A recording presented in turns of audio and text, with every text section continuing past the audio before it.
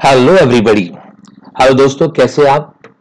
आज का जो टॉपिक मैं स्टार्ट कर रहा हूँ, वो है इनकम फ्रॉम हाउस प्रॉपर्टी आपका क्वेश्चन होगा, सर, इतने सारे हेड्स ऑफ़ इनकम है P G B P salary या फिर कैपिटल गेन बड़े बड़े हेड्स ऑफ़ इनकम है, ये छोड़ के हम लोग इनकम फ्रॉम हाउस प्रॉपर्टी क्यों स्टार्ट करें?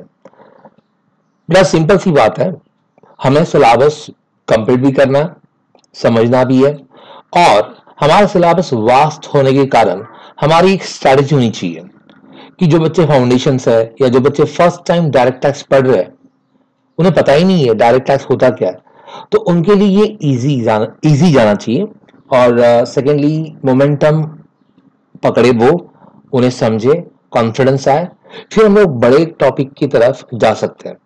तो मैंने डिसाइड किया कि जो फटाफट हो सकता है कंप्लीट जिसकी वेटेज भी अच्छी है, आपको कॉन्फिडेंस भी आए वो टॉपिक हम लोग पहले कंप्लीट करेंगे। Don't worry salary P G B P और कैपिटल गेन भी हम लोग कंप्लीट करने वाले नेक्स्ट पॉइंट ये, बहुत इंपॉर्टेंट पॉइंट मैं रिक्वेस्ट करूँगा सबको कि प्लीज़ रिवाइज करो और ऑफ़ कोर्स मैं तो नोट्स देने वाला हूँ, मेरे चार्ट फॉर्म में नोट्स आएँगे, मैं नोट्स दूँगा, लेकिन आप अगर आप ये सुन रहे हो, आप समझ रहे हो, आपको अच्छा लग रहा है तो एक काम करो, आप लगे हाथ नोटबुक लेके, जैसे ही ये लेक्चर खत्म हो, आप इसको क्या करो, लिखो।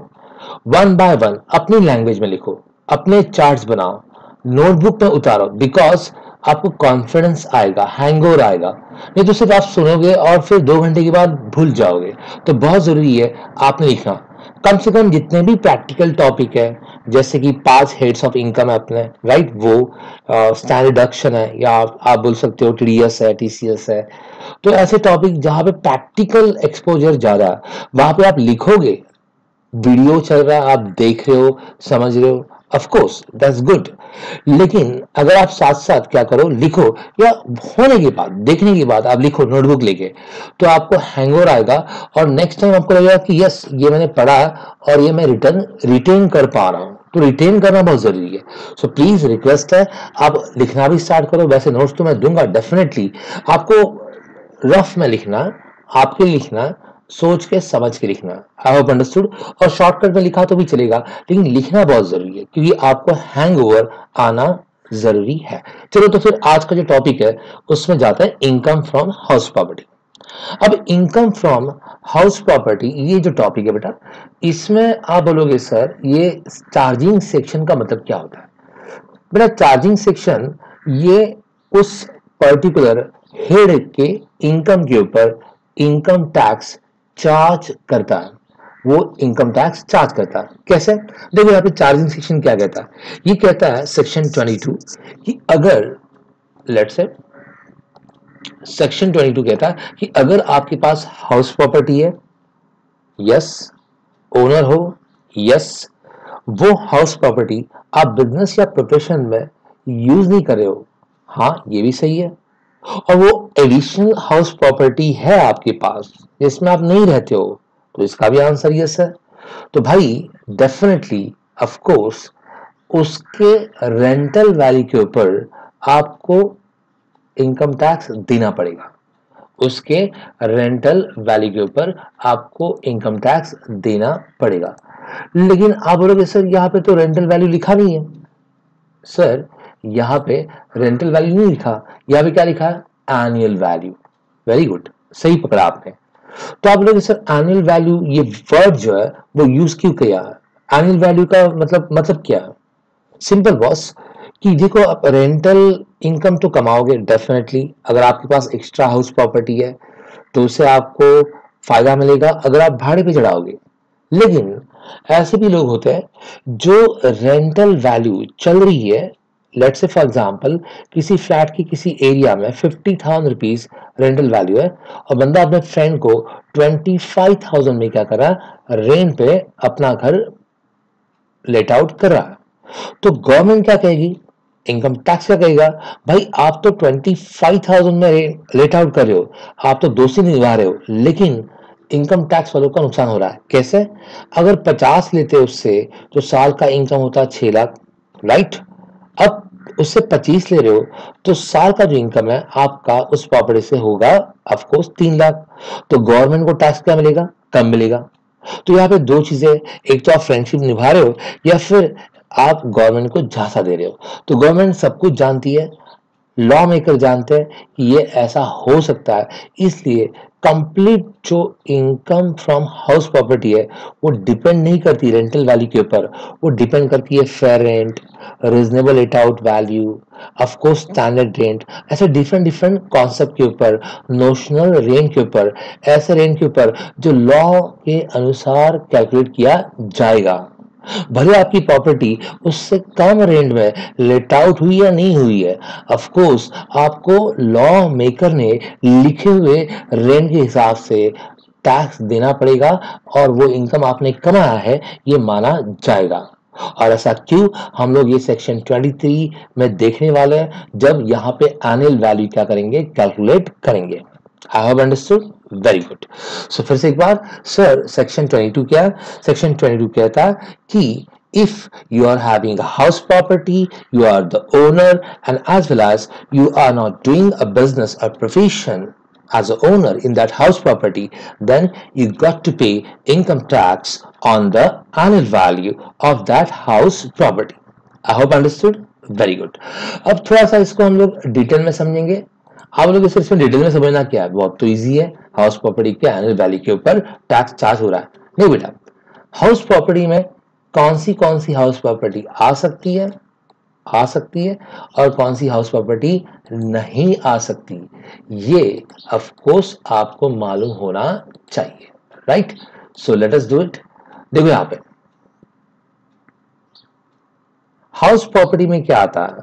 कंसिस्टिंग ऑफ़ एनी बिल्डिंग और land appurtenant thereto आप इसको बोल सकते हो, सर बिल्डिंग तो समझा लैंड भी समझा ये अपर टेनेंट क्या है? बेटा अपर टेनेंट मतलब जो ज़मीन से जुड़ी हुई चीज़ें हैं। जैसे कि हमारा घर है, घर के आजू बाजू में जो आँगन है, जुड़ा हुआ है कि नहीं? यस हमारा है कि नहीं? यस तो वो भी उस हाउस प्रॉपर्टी का क्या होगा? हिस्सा होगा। अगर हमारी बिल्डिंग है, हमारी सोसाइटी है तो हमारे अफकोर्स सोसाइटी के अंदर इर्द गिर्द जितनी भी जगह है कंपाउंड के अंदर, वो हमारी सोसाइटी हमारे हाउस प्रॉपर्टी का क्या पार्ट है। आई होप अंडरस्टूड सो जो हम बोल सकते हैं कार पार्किंग है, या बैकयार्ड है, या हमारा गार्डन है, जो भी हमारे सोसाइटी के इर्द गिर्द है that is also belonging to us उसमें भी हमारा क्या हिस्सा है। जैसे कि लेट से फॉर एग्जांपल आपकी बिल्डिंग है, आपकी बिल्डिंग में स्विमिंग पूल है जिम खाना है तो सिर्फ़ आपका घर आपका घर, उसके ऊपर आपका अधिकार नहीं है। ये सारी चीज़ें कुल मिला के सब चीज़ों के ऊपर आपका राइट अधिकार क्या होता है? क्रिएट हो जाता है। तो सर लैंड अपर्टेनेंट मतलब क्या? ज़मीन के साथ जो जो चीज़ें जुड़ी है जिसपे जिस ज़मीन के ऊपर आपका घर है, वो भी हाउस प्रॉपर्टी के डेफिनेशन में आती है। I hope understood very good अब लोगों सर ठीक है, ये तो समझा। अब हाउस प्रॉपर्टी में सर क्या क्या इंक्लूड होता है और क्या क्या इंक्लूड होता नहीं है। हाउस प्रॉपर्टी में इंक्लूड होगा land surrounded by wall having roof कोई भी ज़मीन जिसपे ऑफ़ कोर्स दीवार है जिसपे छत है, वो हाउस प्रॉपर्टी आएगा। हाउस प्रॉपर्टी में वो शामिल होगा और वो भी घर आएगा। ऑफ़ कोर्स जिसके ऊपर रूफ नहीं है। कैसे? फॉर एग्ज़ाम्पल स्टेडियम स्टेडियम के ऊपर रूफ नहीं होता, छत नहीं होती है तो भी उसे कमर्शियल प्रॉपर्टी हाउस प्रॉपर्टी माना जाता है। आई होप अंडरस्टूड ठीक है तो फिर हाउस प्रॉपर्टी में ऐसी ज़मीन आती है जिसके ऊपर दीवार है, छत है या नहीं है, और जिससे जुड़ी हुई सारी चीज़ें, आँगन है बैकयार्ड है कार पार्किंग है स्विमिंग पूल है वॉट गार्डन है, जो आपके हाउस प्रॉपर्टी के लैंड के ऊपर है, जुड़ी हुई है, वो सारी चीज़ें आपके हाउस प्रॉपर्टी का हिस्सा बन जाती है, बनती है। तो सर अगर हम लोग इस बिल्डिंग वर्ड को थोड़ा एक्स्ट्रा डिटेल में देखेंगे तो बिल्डिंग वर्ड को कैसे डिफाइन किया लॉ मेकर ने? लॉ मेकर कहते हैं कि बिल्डिंग का मतलब क्या है? ब्रिक्स ऑफ़ कोर्स बिल्डिंग जो बनी है ब्रिक्स से ईटों से स्टोन पत्थरों से, या इवन मड वर्क अगर वो मिट्टी की भी बनी है ऑफ़ कोर्स वो घर है, मिट्टी का भी बना है तो भी वो बिल्डिंग है. अगर वो घर है चाहे वो किसी भी मटेरियल का बना है, उसके ऊपर छत है, चार दीवार है, लोग उसमें रह सकते हैं, बात खत्म। वो बिल्डिंग है। ज़रूरी नहीं है, एक प्रॉपर जो घर की तस्वीर हमारे मन में होती है, वैसी होना चाहिए। ओके नेक्स्ट अब हाउस प्रॉपर्टी में रेसिडेंशियल और कमर्शियल हाउस दोनों शामिल होते हैं। रेसिडेंशियल पहले ही बोल दिया, जिसके ऊपर रूफ है और कमर्शियल रूफ नहीं तो भी क्या समझा जाएगा? हाउस प्रॉपर्टी है। तीसरी बात परमानेंट स्ट्रक्चर होना चाहिए, जो सालों साल यूजफुल होना चाहिए। अगर वो परमानेंट स्ट्रक्चर है, सालों साल यूजफुल हो सकता है तो यस हाउस प्रॉपर्टी है। और हाउस प्रॉपर्टी में क्या शामिल होता है? ये भी डिस्कस हुआ है land appurtenant to a building includes car parking and backyards of course तो लैंड से, जिस लैंड के ऊपर, जिस ज़मीन के ऊपर, आपकी ऑफ़ कोर्स हाउस प्रॉपर्टी है, उसके साथ साथ जो भी जुड़ा होगा, कार पार्किंग है, स्विमिंग पूल है, जो भी एरिया जुड़ा होगा, वो आपके हाउस प्रॉपर्टी का पार्ट होगा। लेकिन सर, इसके बाद और एक पॉइंट है कि हाउस प्रॉपर्टी में कुछ चीज़ें एक्सक्लूड होती है।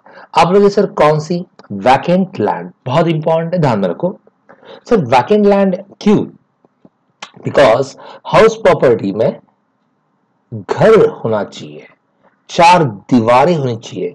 भले उस पर छत हो या ना हो, चाहे वो दीवारें ईंटों से बने, पत्थरों से बने या मिट्टी से बने, लेकिन दीवार होनी चाहिए। सिर्फ़ बैक एंड लैंड ये हाउस प्रॉपर्टी में लॉ मेकर में नहीं रखी है। अगर आपकी ज़मीन है और आप नॉर्मली उसको भाड़े पे देते हो रेंटल पे देते हो लोगों को लेट से कार पार्किंग करने के लिए या टू व्हीलर पार्क करने के लिए या ठेला लगाने के लिए आप उसको यूज़ कर रहे हो तो रेंटल इनकम तो मिल रहा है, लेकिन वो वैकेंट लैंड से मिल रहा है। तो लॉ मेकर कहते हैं, वो हाउस प्रॉपर्टी नहीं है, इसलिए इनकम फ्रॉम हाउस प्रॉपर्टी में नहीं आएगा। Because of course absence of wall roof and of course permanent structure it is just a vacant land, bare land. I लेकिन ये इनकम जो है, वो आपका चार्ज होगा इनकम फ्रॉम अदर सोर्सेस या business income sir business income इसको कब बोलेंगे? ये आपका रेगुलर अफेयर है रेगुलर आप ये चीज़ें करते हो तो ये आपका बिज़नेस है तो इसे बिज़नेस इनकम में ऑफकोर्स रखा जाएगा। लेकिन एक सिंपल लेमैन है और उसके पास उसके पास वैकेंट जगह है और वो किसी को क्या करता है? उस जगह को ऑफकोर्स भाड़े पे देता है लेट आउट करता है। तो उसका तो बिज़नेस नहीं है और वो किसी पर्टिकुलर पर्पज के लिए लेट आउट नहीं करता।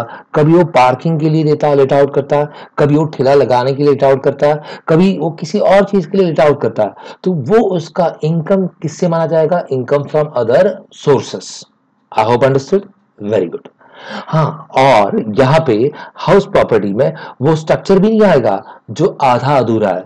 जैसे कि बिल्डिंग वर्क इन प्रोग्रेस अगर कोई बिल्डिंग बन रही है कंस्ट्रक्शन हो रहा है तो क्या वो हाउस प्रॉपर्टी में आएगा? नहीं, क्योंकि वो इनकम्प्लीट है। कोई बिल्डिंग कोई घर जैसे कि डिमोलिस्ट है, हालात बदतर होंगे, खंडर जैसे। तो रूलिंग हाउस मतलब क्या? खंडर। ऑफ़ कोर्स जहाँ पे कोई जा नहीं सकता, जहाँ पे कोई रहता नहीं है तो वो जो है, वो भी हाउस प्रॉपर्टी कहलाता नहीं है। तो आई होप अंडरस्टूड यहाँ तक आपको परफेक्टली समझा होगा कि हाउस प्रॉपर्टी में क्या शामिल है और क्या शामिल नहीं है। आई होप अंडरस्टूड अंडरस्टूड कमा सो हम लोग अब जाएँगे हमारे नेक्स्ट पार्ट के ऊपर। Let us go to the next part बेटा नेक्स्ट पार्ट कंडीशन का क्या कहता है? ऑफ़ कोर्स वो पूछता आपको, क्या आप ओनर हो?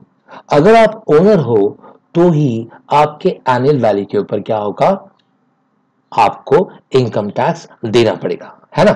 तो अगर आप ओनर हो तो ओनर में कौन कौन से लोग ओनर हो सकते हैं और ओनरशिप में ये डीम ओनर भी इंक्लूड है। तो ओनर अगर आप हो तो आपको तो एनुअल वैल्यू के ऊपर टैक्स देना पड़ेगा। लेकिन फिर डीम ओनर हो गए तब भी आपको टैक्स देना पड़ेगा। तो ये इंपॉर्टेंट है, ठीक से सुनो। डीम ओनर क्या है? Right okay okay. तो डीम ओनर से पहले हम लोग देखते हैं बेटा कि ओनरशिप जो है या ओनर जो है, वो तीन प्रकार के हैं। पहला पहला लीगल ओनर दूसरा बेनिफिशियल ओनर और तीसरा डीम ओनर आप लोग सर लीगल ओनर मतलब क्या? ओके जैसे कि अगर आपने घर लिया उसकी रजिस्ट्री करी है राइट रजिस्ट्रेशन करके लिया अपने नाम पे करके लिया तो वो आपको लीगल ओनर ठीक है? आप लोग सर बेनिफिशियल ओनर मतलब क्या? सी बेनिफिशियल ओनर मतलब फॉर uh, एग्ज़ाम्पल किसी का घर आपने खरीद लिया राइट आपका एग्रीमेंट वगैरह सब कुछ हो गया। आपने उसका पूरा पैसा भी दे दिया। राइट और आप उसके घर में रह रहे हो। पोजीशन भी आपके पास है। समझो ठीक से? पोजीशन भी आपके पास है। और आपको उस घर के सारे बेनिफिट मिल रहे हैं। आप उसके ऊपर रेंट कमा रहे हो। राइट या नहीं भी कमा रहे हो। लेकिन पोजीशन आपके पास है। जो भी बेनिफिट है उस घर के आप उठा रहे हो। तो वो है आपका घर। और आप उस घर के क्या हो? Beneficial owner I hope understood very good ये दोनों तो इजी है लीगल ओनर बेनिफिशियल ओनर ये इंपॉर्टेंट है और इसको हम लोग को डिटेल में समझना है। सर कौन? डीम्ड ओनर अंडर सेक्शन 27 इसमें सब सेक्शन भी है, लेकिन याद रखने की ज़रूरत नहीं है। आप 27 याद रखोगे तो भी चलेगा। तो आज के लेक्चर में दो सेक्शन करेंगे charging section 22 and deemed owner 27 आपको याद हो जाएगा don't worry sir deem owner में कौन से कौन से ओनर आते हैं? तो बेटा डीम ओनर में सबसे पहला जो आता है, वो है ऐसा ओनर, ऐसा बंदा, जिसने अपने हाउस प्रॉपर्टी को, अपने स्पाउस को या अपने माइनर चाइल्ड को क्या किया ट्रांसफ़र किया कैसे? विदाउट एडिक्वेट कंसिडरेशन आपका पहला क्वेश्चन होगा सर एडवोकेट कंसिडरेशन मतलब क्या?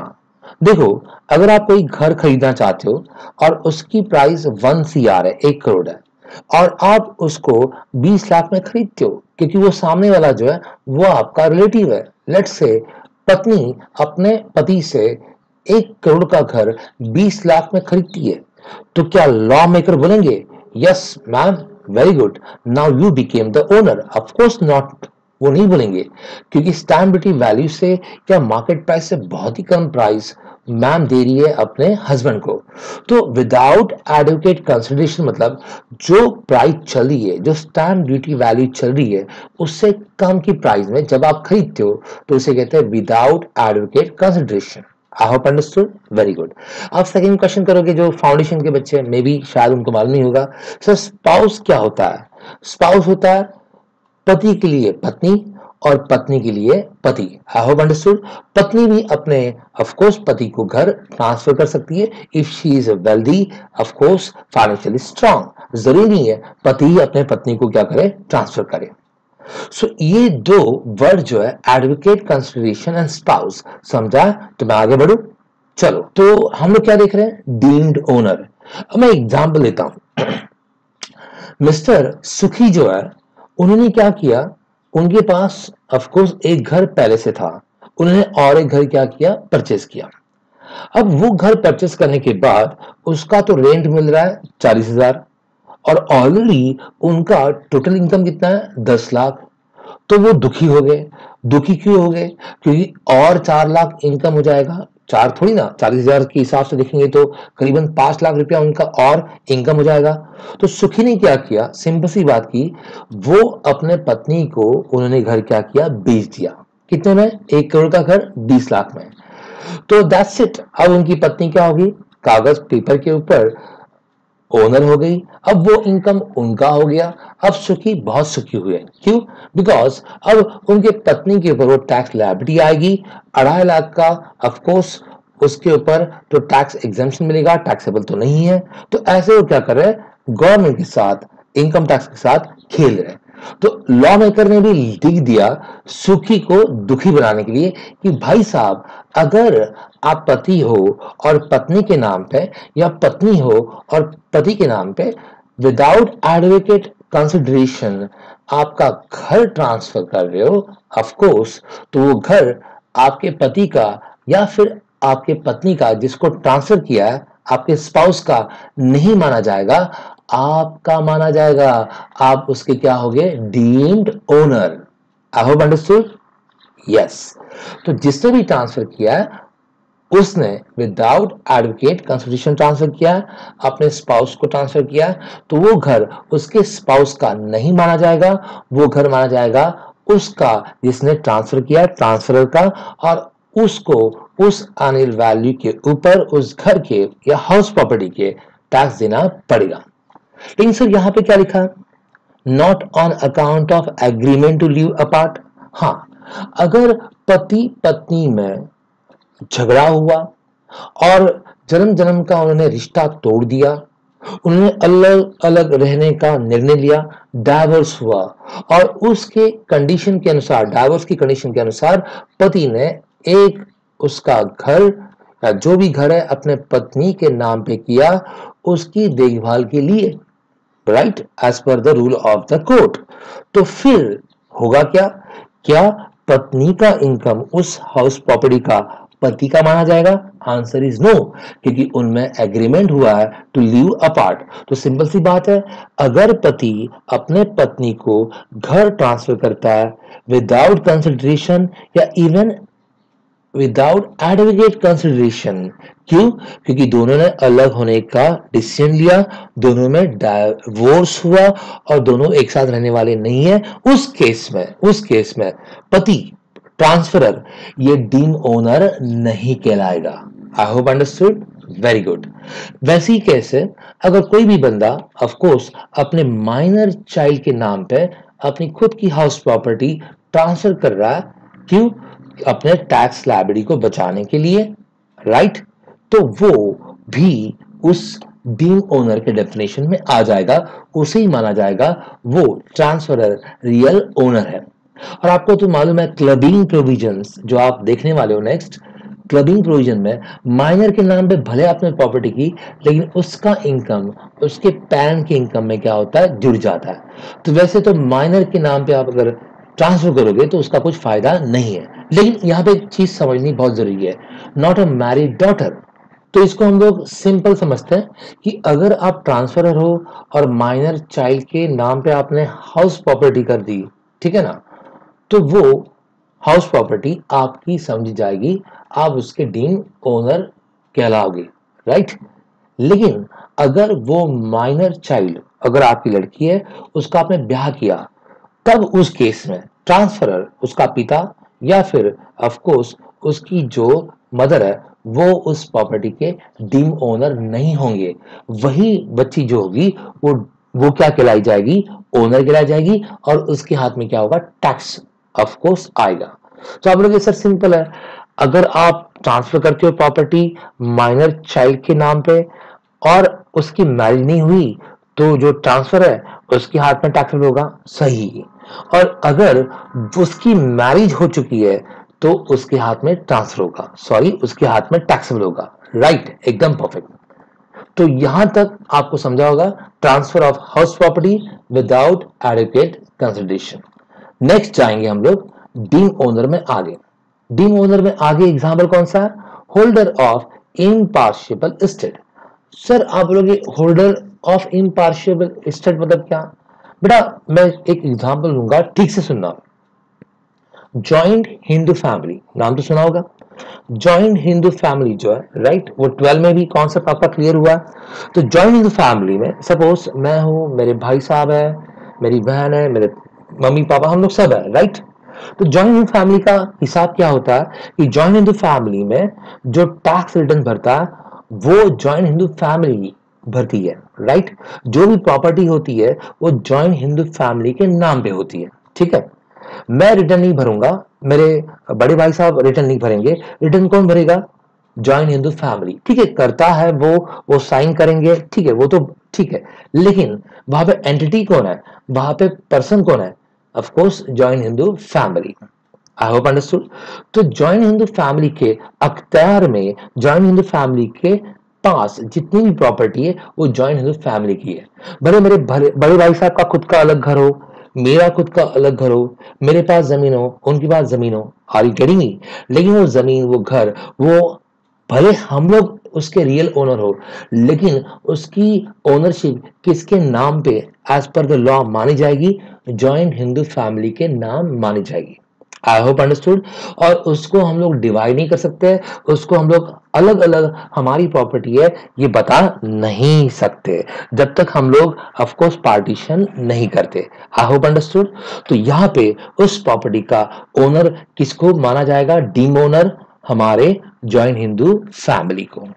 Everybody understood very good sir next कौन सा एग्ज़ाम्पल है? बेटा member of cooperative society company या एसोसिएशन ऑफ़ पर्सन मैं इसको समझाता हूँ। जैसे कि हम लोग आ, कुछ एक ही साथ काम करने वाले हम लोग फ्रेंड्स हैं। चालीस पचास लोग हैं हम लोग। और हम लोग ने समझा कि यार हम लोग एक साथ रहते हैं ठीक है? तो एक साथ रहने के लिए हम लोगों ने कोऑपरेटिव सोसाइटी हमारे नाम पे क्या की रजिस्टर की और गवर्नमेंट से गुहार की कि हमें कोऑपरेटिव सोसाइटी के नाम पे जगह चाहिए। फॉलो अप करने के बाद जगह भी मिली। तो कोऑपरेटिव सोसाइटी को जगह मिली और कोऑपरेटिव सोसाइटी वहाँ पे क्या करेगी? बिल्डिंग कंस्ट्रक्ट करेगी, जिसमें मेरा भी वहाँ पे घर होगा, ठीक है ना? तो मैं कोऑपरेटिव सोसाइटी का मेंबर हूँ और वहाँ पे बिल्डिंग कंस्ट्रक्ट होगी, उसमें मेरा भी घर होगा, ठीक है ना? तो वो जो घर है, वो जो घर है राइट या वो जो जगह है, वो जो बिल्डिंग है, वैसे तो किसके नाम पे अगर लीगली समझा जाए तो किसके नाम पे कोऑपरेटिव सोसाइटी के नाम पे राइट लेकिन मेरी वहाँ पे मेंबरशिप है और मैं उस कोऑपरेटिव सोसाइटी का मेंबर हूँ। उस नाते से, उस घर का, मेरे घर का मैं कौन हूँ? डीम्ड ओनर हूँ। लीगली वो ओनर है, लेकिन डीम्ड ओनर किसको माना जाएगा? मुझे उस घर का, जिस घर को मैंने परचेस किया, मैंने कंट्रीब्यूट किया। आई होप अंडरस्टूड तो वहाँ पर लीगल ओनर तो कौन है? कोऑपरेटिव सोसाइटी लेकिन मुझे क्या माना जाएगा? डीम ओनर उस घर के लिए और उस घर का जो भी इनकम है, उसके लिए मैं रिस्पॉन्सिबल हूँगा टैक्स पे करने के लिए। चलो, आगे बढ़ते हैं। नेक्स्ट डीम ओनर में है person purchase property regarded as deem owner थोड़ा मैं इसको डिटेल में बोलता हूँ।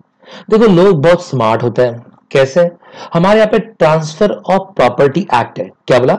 ट्रांसफ़र ऑफ़ प्रॉपर्टी एक्ट अगर आप कोई भी घर परचेस करते हो तो आप एग्रीमेंट टू ऑफ़ कोर्स उसमें सेल होगा, उसमें रजिस्ट्री होगी, आप कन्वेंस डीड करोगे प्रॉपर्टी आपके नाम पे होगी, ये सब प्रोसेस होती है। लेकिन कुछ लोग क्या करते हैं प्रॉपर्टी की पूरी प्राइस भी दे देते हैं बाहर को बाहर से उस प्रॉपर्टी का, उस घर का पोजिशन भी ले लेते हैं। उस प्रॉपर्टी के सारे बेनिफिट भी एंजॉय करने लेने लगते हैं। बहुत सारे बेनिफिट जो भी है एंजॉय करते हैं। वैसे तो लीगली कहे तो जो सेलर था, अभी भी गवर्नमेंट के दफ्तर में कागजात के ऊपर, उसी का नाम है, वही ओनर है। लेकिन बेनिफिट कौन उठा रहा है? जिसने सारे पैसे दिए और पूरा पोजीशन ले लिया, वो उठा रहा है। तो फिर सरकार को मालूम है, ये बंदा ऐसे क्यों कर रहा है? ये रजिस्ट्रेशन क्यों नहीं करा? ये कन्वेंस डीड क्यों नहीं करा? ये अपने नाम पे क्यों नहीं करा? क्योंकि वो रजिस्ट्रेशन के पैसे क्या करना चाहता है? बचाना चाहता है, पहली बात। तो गवर्नमेंट का रेवेन्यू लॉस हुआ। या दूसरी बात, वो क्या करेगा? उस प्रॉपर्टी को चार दो महीने रखेगा और और हायर प्राइस पे क्या करेगा? बेच देगा। जैसे कि उसको मुनाफा हो, उसका ऑफ़ कोर्स फ़ायदा हो प्रॉफिट हो, लेकिन यहाँ पे नुकसान किसका हो रहा है? गवर्नमेंट का। तो लॉ मेकर ने यहाँ पे इनकम टैक्स में लिख दिया सेक्शन 27 में कि भाई, जो भी व्यक्ति है, जिसने प्रॉपर्टी परचेस की है पोजिशन लिया, पूरा बेनिफिट उठा रहा भले उसके नाम पे प्रॉपर्टी हो या नहीं हो, उसी को क्या समझा जाएगा? डीम्ड ओनर आई बात समझ में? और जो भी बेनिफिट वो उठा रहा है, उस एनुअल वैल्यू के ऊपर, चाहे वो रेंटल पे दे, ना दे, उसके ऊपर उसे टैक्स भरना पड़ेगा। I hope understood very good last but not the least very important person acquires building part thereof for at least a period of 12 years. Law maker में लिखा है नॉट लेस देन 12 इयर्स तो not less than मतलब ही क्या है? At least ठीक है? मैं एक एग्जांपल देता हूँ। जैसे कि हम लोगों को ऑफ़िस चाहिए और ऑफ़िस हमें नरीमन पॉइंट में चाहिए। आपको मालूम है नरीमन पॉइंट में डेफिनेटली बहुत ही highly priced of course office होती है। तो डेफिनेटली हम लोग खरीद तो नहीं पाएँगे। तो हम लोग क्या करेंगे? लीज पे लेंगे। हम लोग लीज रेंटल देंगे। तो जिससे भी लीज पे हमने लिया, पता है वो हमसे कितने साल का मैक्सिमम एग्रीमेंट करेगा? पता है? ग्यारह साल का। सर, ऐसा क्यों? ऐसा इसलिए क्योंकि लॉ मेकर ने लिख दिया कि आप किसी भी प्रॉपर्टी को 12 साल के लिए लीज पे लेते हो एग्रीमेंट करके तो उसका ओनर वो, जो लीगल ओनर है, वो नहीं होगा। आप होंगे जिसने लीज पे ऊपर क्या किया प्रॉपर्टी ली है। आई होप अंडरस्टूड और इसीलिए प्रैक्टिकल लाइफ में लोग 12 साल के नीचे का ही क्या करते हैं? सामने वाले को लीज एग्रीमेंट कर देते हैं। क्योंकि 12 साल या उससे ज़्यादा होगा तो जो लीजी है, जिसने लीज के ऊपर ऑफ़ कोर्स प्रॉपर्टी ली है, वही क्या बन जाता है? ओनर डीम ओनर और उसके एनुअल वैल्यू के ऊपर सरकार ऑफ़ कोर्स क्या चार्ज करती है? टैक्स तो मैं ऑफ़ कोर्स होप करता हूँ, आशा करता हूँ कि डीम ओनर कॉन्सेप्ट आपको समझा होगा। अगर शॉर्ट नोट भी आ गए तो डेफिनेटली आप शॉर्ट नोट आराम से लिख सकते हो। नेक्स्ट सर थर्ड कंडीशन तो थर्ड कंडीशन कौन सी है? नॉट यूज़ फॉर बिज़नेस और प्रोफेशन बाय इट्स ओनर मतलब अगर आप हाउस प्रॉपर्टी के ओनर हो, ठीक है? अगर उस हाउस प्रॉपर्टी को अगर उस हाउस प्रॉपर्टी को आप अपने बिज़नेस या अपने प्रोफेशन के लिए यूज़ कर रहे हो? अगर आंसर यस है तो उसके ऊपर उसके ऊपर आपको टैक्स देने की ज़रूरत नहीं है। आप लोग सर, नहीं समझा। ओके ठीक है, मैं समझाता हूँ। देखो आपके पास एक घर है, ठीक है? और आप लट से आप सीए में हो, आप प्रैक्टिस कर रहे हो, चलो, ये भी ठीक है। और आपका खुद का घर, आप आपके प्रोफेशन के लिए क्या कर रहे हो? यूज़ कर रहे हो। तो गवर्नमेंट उस प्रॉपर्टी के एनुअल वैल्यू के ऊपर टैक्स चार्ज क्यों नहीं करती? ये आपका क्वेश्चन होगा। बेटा, इसलिए बिकॉज़ आप प्रोफेशन से तो कमाओगे बिज़नेस करोगे अपना खुद का तो उससे भी कमाओगे। तो वो जो इनकम है, वो ऑटोमेटिकली क्या होने वाला है? टैक्सेबल तो होने वाला है। तो अलग से डेफिनेटली गवर्नमेंट उसको हाउस प्रॉपर्टी में लेके उसकी एनुअल वैल्यू अलग से कैलकुलेट करके टैक्स आपसे लेना नहीं चाहती है। कि उसे पता है, आप प्रोफेशन कर या बिज़नेस कर रहे हो। अगर आप दिखा रहे हो कि मैं अपने हाउस प्रॉपर्टी में प्रोफेशन कर रहा हूँ तो इसकी एनुअल वैल्यू मत लो, अगर आप दिखा रहे हो। तो गवर्नमेंट पूछेगी तो भाई साहब, चलो, आप आपके प्रोफेशनल बिज़नेस के इनकम के ऊपर टैक्स पे कर दो। राइट तो वहाँ से छूटा तो यहाँ पे पकड़ा। तो इन शॉर्ट आपको क्या समझना है? कि आपकी खुद की हाउस प्रॉपर्टी है, आप ओनर हो, उसमें आप खुद का बिज़नेस या प्रोफेशन कर रहे हो तो उसके एनुअल वैल्यू के ऊपर सेक्शन 22 में इनकम टैक्स नहीं लगेगा। क्यों नहीं? क्योंकि वैसे ही बिज़नेस या प्रोफेशन के इनकम के ऊपर टैक्स लगने वाला है। क्लियर आगे जाओ। ठीक है। Next but if owner uses for लेकिन अगर ये ओनर जो है, वो वो घर या वो जगह या वो बिल्डिंग वो स्ट्रक्चर वो ऑफ़िस जो भी है, वो यूज़ करता है किसके लिए?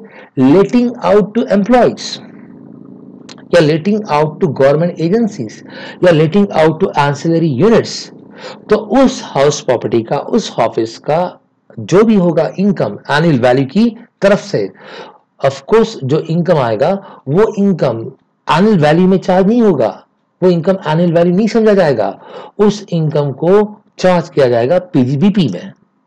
आप बोलोगे, नहीं सर नहीं समझा। क्या बोल रहे हो? ठीक है। चलो, मैं समझाता हूँ। हम लोग फैक्ट्री के ओनर है। अजूम करो कि हमारे पास फैक्ट्री है और हमारे फैक्ट्री के इर्द गिर्द बहुत बड़ी जगह है। आपको मालूम है फैक्ट्री जो होती है राइट उसके मालिक चाहते हैं कि उनके जो एम्प्लॉयज़ है, काम पे जल्दी आए, ठीक से आए और ऑफकोर्स अच्छा काम करे। तो बहुत सारे आपने देखा होगा फैक्ट्रीज तो होती है आपके शहर के बाहर रिमोट एरियाज़ में। तो वहाँ पे जाना लोगों के लिए ज़्यादातर टाइम कंज्यूमिंग होता है। तो फैक्ट्री मालिक क्या करते हैं? अपनी ही फैक्ट्री के इर्द गिर्द हाउसिंग कॉम्प्लेक्स का निर्माण करवाते हैं और वर्कर को वहाँ पे फ्लैट जो है, घर जो है, दिलाते हैं। तो अब ये जो बिल्डिंग भी है बिल्डिंग भी है, वो फैक्ट्री ओनर की है। घर तो फैक्ट्री ओनर का है, लेकिन दिया किसको है? ऑफ़ कोर्स एम्प्लॉयज़ को। तो आप बोलोगे, सर, अगर एम्प्लॉयज़ को दिया तो एम्प्लॉयज़ से भाड़ा लेता रहेगा? Right right? तो जो भी कम भाड़ा ले, ज़्यादा भाड़ा ले तो ये तो इनकम फ्रॉम हाउस प्रॉपर्टी में आना चाहिए। नहीं बेटा लॉ मेकर ये सोचता है क्योंकि आपने ये जो बिल्डिंग बांधी, ये जो घर उनको दिया, ये आपके बिज़नेस को स्मूथ करने के लिए दिया। आपके बिज़नेस को डेफिनेटली अच्छा करने के लिए दिया। उससे आपके बिज़नेस को हेल्प होगी और ये सीधा इनकम आपके बिज़नेस को बेनिफिट पहुँचा रहा है। इसलिए इसलिए आप जो हो, अगर ओनर हो, और अगर आपने उस हाउस प्रॉपर्टी को अपने एम्प्लॉयज़ को देके रखा है, और उससे आपको जो इनकम हो रही है, वो सेक्शन 22 में नहीं आएगी तो वो इनकम सीधे कहाँ पे जुड़ जाएगी? Profit and gain from business और प्रोफेशन में जुड़ जाएगी। I hope understood very good दूसरा एग्ज़ाम्पल अगर सपोज़ रिमोट एरिया में आपका फैक्ट्री है, और वहाँ पे डेफिनेटली डर तो बहुत ज़्यादा अलग अलग चीज़ों का होता है। तो पुलिस स्टेशन के लिए क्या किया आपने? जगह दे दी। और उनसे जो भी रेंट मिल रहा है तो मुझे बोलो, वो पुलिस स्टेशन से सिक्योरिटी आपको ज़्यादा मिलेगी? यस आपके बिज़नेस को सुविधा होगी? यस तो वो भी क्या होगा? आपका इनकम जो भी रेंटल इनकम है, वो हाउस प्रॉपर्टी में नहीं आएगा, वो आपके बिज़नेस में आएगा, क्योंकि अपने बिज़नेस को आप सिक्योर कर रहे हो। और एक एग्ज़ाम्पल जैसे नेशनलाइज बैंक है इर्द गिर्द बैंक नहीं है, आपको बैंकिंग ट्रांजेक्शन करने हैं, आपने बैंक को जगह रेंटल पे दे दी। वो भी रेंटल किसमें आएगा? पीजीबीपी में। क्योंकि आप गवर्नमेंट की किसी भी एजेंसी को जगह देते हो तो वो अपनी सुविधा के लिए देते हो। लॉन्ग टर्म ध्यान में रखे कि आपको उसका कैसे फ़ायदा होगा। तो आपके बिज़नेस के दृष्टिकोण से आप सोचते हो, उसको फ़ायदा पहुँचाने के लिए आप रेंटल पे देते हो। तो वो इनकम फ्रॉम हाउस प्रॉपर्टी में नहीं आएगा, कहाँ पे आएगा? डेफिनेटली वो आएगा पीजीबीपी में। नेक्स्ट एंड लास्ट अगर आप हाउस प्रॉपर्टी के ओनर हो, लेकिन आपकी फैक्ट्री भी है और उस फैक्ट्री के इर्द गिर्द बहुत जगह है। फैक्ट्री तो आपकी है और बहुत जगह है और आपको कुछ स्पेयर पार्ट्स की ज़रूरत है। तो जो बंदा स्पेयर पार्ट फैक्ट्री वाला कोई दूसरा बंदा है, उसको आप क्या करते हो? अपने ज़मीन पे लाते हो और उसको कहते हो कि चलो यहाँ पे फैक्ट्री बनाते हैं और कोलाबरेशन करके बनाते हैं। तो आप आपके ज़मीन के ऊपर एक्स्ट्रा और एक फैक्ट्री ऑफ़ कोर्स बना देते हो किसी दूसरे आदमी के साथ और कंट्रीब्यूशन में वो फैक्ट्री चालू करते हो, क्योंकि वहाँ से जो आपको स्पेयर पार्ट्स होंगे या मटेरियल होगा डायरेक्ट आपके फैक्ट्री में आएगा कॉस्ट भी कम होगी और आपका बिज़नेस उसको फ़ायदा भी होगा। तो जो एंसिलरी यूनिट है, आपका सब यूनिट है, जिसमें आप मालिक हो, अगर उससे भी रेंट आता है राइट उससे भी रेंट आता है तो वो आपका इनकम फ्रॉम हाउस प्रॉपर्टी में नहीं समझा जाएगा। वो आपके प्रॉफिट और gain from business and profession में ऐड किया जाएगा। बिकॉज़ वो आपके बिज़नेस को सहूलियत दे रहा है, आपके बिज़नेस को स्मूथ चलाने के लिए हेल्प कर रहा है, आपकी प्रॉफिटेबिलिटी बढ़ा रहा I hope understood next sir यहाँ पे लेट से ये जो एग्ज़ाम्पल दे रहा हूँ, बहुत इंपॉर्टेंट है। फाइनेंस एक्ट 2017 में ऑफ़ कोर्स ये इंपॉर्टेंट डिसीज़न आया था। अभी आपको इतना सारा याद नहीं रखना, ये कॉन्सेप्ट याद रखनी है। कॉन्सेप्ट क्या?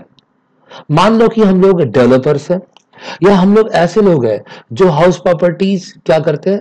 परचेस करते हैं अखबार करते हैं, या फिर बनाते हैं। एक तो बांधते हैं, या फिर परचेस करते हैं। और उससे हम लोग लेट आउट करते हैं, भाड़े पे रहते हैं। लेट आउट करते हैं, भाड़े पे रहते हैं। तो अपना काम ही क्या है?